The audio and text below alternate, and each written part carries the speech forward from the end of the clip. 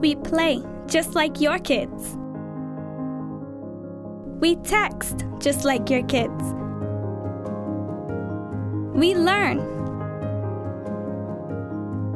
We even cook. We take selfies. We have hobbies. And we love sports.